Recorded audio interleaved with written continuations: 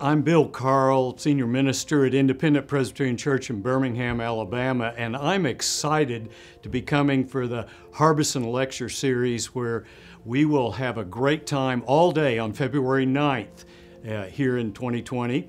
And it's fun for me because I'm going to get to reconnect with some friends that I've known for a long time.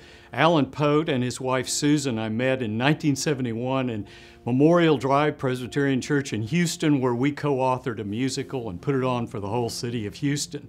It's also fun to connect with the pastor, Robert Queering, who was born and grew up in the same town I grew up in, in Bar- Broken Arrow, Oklahoma.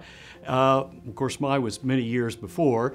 And I'm looking forward to getting to know him and spend the day with the wonderful people at First Presbyterian.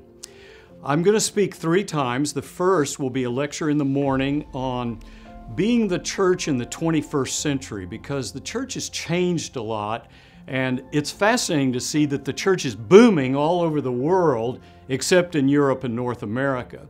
So I have preached in about 40 states around the United States and observed what are the marks of really growing churches that are alive and active and vigorous. And I will be talking about what makes a great church as I lecture uh, in that first session. The second, at the Harbison Lectures, will be the sermon that I'll give called You're Somebody. And it's from a very odd text in 2 Corinthians where Paul is talking about all the terrible things that's happening to him, and it makes you not want to even go into the ministry or the mission field.